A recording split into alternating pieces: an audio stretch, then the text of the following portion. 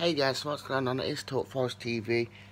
Hey, I'm back with the latest Forest news. Um, obviously, um, a lot been said over the weekend about players. Obviously, I had a weekend off from um, from doing it just because I've been busy with football, etc. Um, Soudani, Ben Osborne, Byron McKay, um, Joe Worrall, Marcus Maddison, Jack Marriott.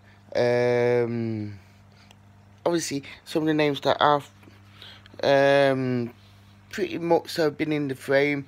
Um, obviously, I'm going to start with Soudani. It has been said. it has been said that um, he has gone back to his parent club at the minute, and that um, he's waiting for an offer. Obviously, he wants to go to China or England, and it's been said that. Um, he's waiting, but his preferred destination is in England, and pretty much it's saying, looking like more than enough that he wants to come to England, um, and that just waiting to see how long it does actually take before Soudani does either become a China player or comes to Forest. Um, next player is Barrie McKay, obviously the window at Forest signed from Rangers last summer. It has been said with him, uh, Olympiacos does want him in and that um, it's one of them ones I think it's just fake rumours. Obviously, struggled up for this season. Obviously, it started off really well, but obviously, um, um, he has um, gone downhill since then. Toronto, I don't really rate him, and um, that he is set to leave Forest um, for Olympiacos, so we are expecting just finish. Um, obviously, next person, Ben Osborne, um, the Forest midfielder, left back.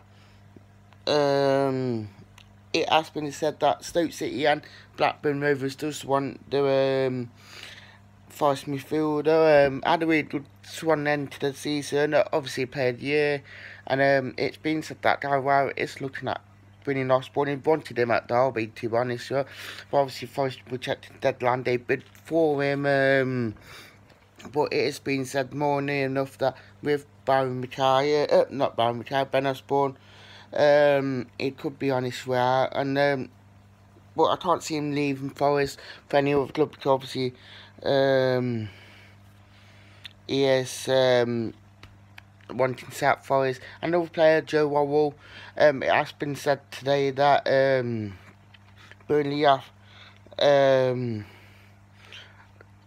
put in a bid for him um, and it going to include a player in Nahki Wells. That has been the latest rumour that has been said about him.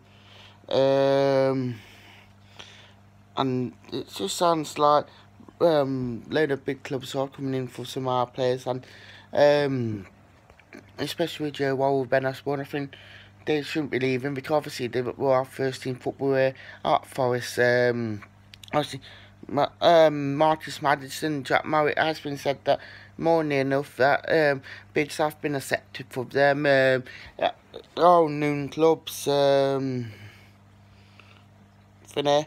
Um, bids has been accepted for both players, and it has been said that um, they um, going to be talking to the clubs. Um, unknown if it falls or not, but we will be keeping up to date. Thank you for watching Talk Forest TV. Please like, share, comment, subscribe to the channel. And let's thank you and goodbye.